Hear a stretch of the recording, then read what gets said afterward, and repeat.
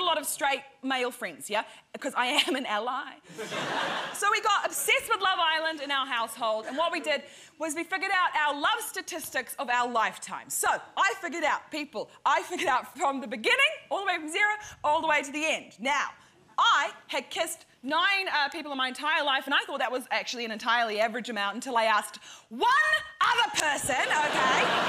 Turns out that's pretty low, right? That I have literally never rejected anyone in my life, right? Ever. I run a very open home policy when it comes to that sort of stuff. Come on in, choose on, choose off, right? It's fine. And it's crazy. I've kissed nine, I've kissed nine men in my life, right? And I honestly think that subconsciously there I am holding out at single digits with men um, because I think once I hit double digits, it does mean that I am definitely straight and I'm not ready for that. Uh, future, not my president. Yeah, that's um, a horrible thing to sign up for, right? Because it, it's, the, it's the worst, um, it's the worst of all of them. if that makes sense, right? It's the worst sexuality gender combination I, I, know it's very un-PC to rank them, right? but it is at the bottom. It's, it's worse than being a straight man if you actually think about it, right? Yeah, I said it.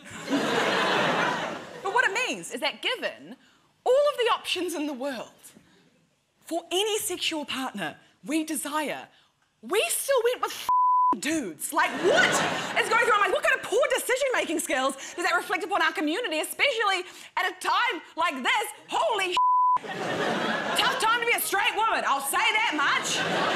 oh my God. I've got a lot of straight male friends, yeah? Because I am an ally.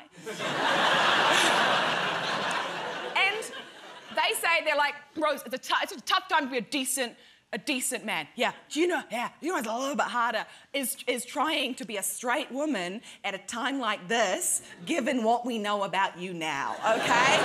and what the only accurate way I've come to describing what that truly feels like to be a straight woman at times like these is it almost feels like trying to recommend a restaurant that has given you food poisoning eight times, okay? That's truly what it feels like. You tell your friends to go, you're like, no, no, no, just go, just go. Don't go online, don't read the reviews, don't read that, don't go on Yelp. That's great, it's fine. Not all restaurants, yeah, not all restaurants, yeah? they're good, they're really good, trust me. And I, but I still love men, I love to kiss them. Um, I, I do, and um, I don't even think it's I don't even think it's necessarily the fact that I like men. I think it's the type of men I traditionally go for, and um, it's a very specific type. I don't know if you have. I think we have them in the UK. We definitely have them in New Zealand. I'm um, total nightmares. Do you have that strain up here as well? That's my type on paper, my T on P. I go towards that.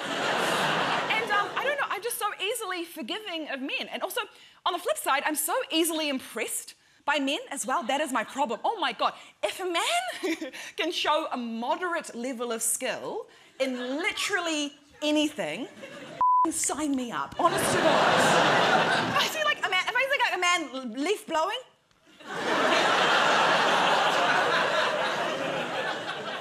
knows like the right oil to has like a low smoke point to cook a steak. What, what, if a man can fold a fitted bed sheet, bellissimo, yeah. Like, I genuinely think that men with their together could be quite a popular porn category. That would be insane.